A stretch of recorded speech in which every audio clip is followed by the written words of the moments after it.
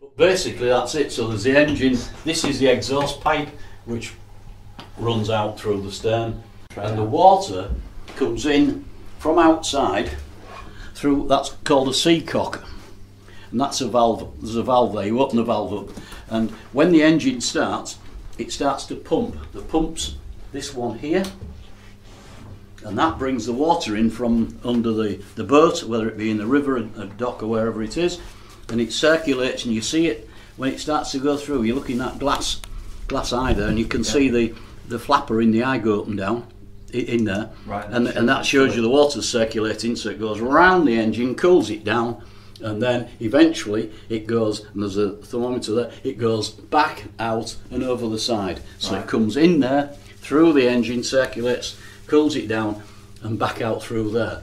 This other pipe, this one, is for the bilge. So we've got a second pump, which is uh, the one that goes here underneath it. So there are two pumps there. One's working that way, and, you, and I screw this valve in on here. Oh, there you go.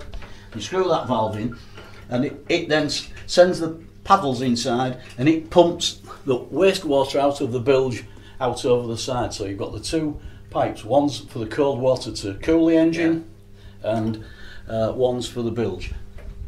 The type of engine, um, and there are names for different marine engines, but this is called uh, raw water cooled engine.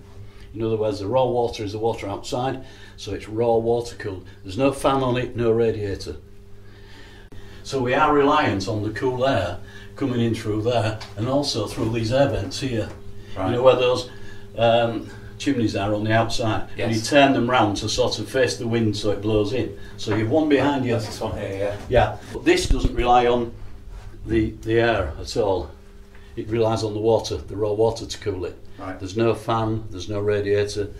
It's just permanently coming through, and it doesn't run very hot because obviously the the river water or the dock water or whatever is always reasonably or very cold.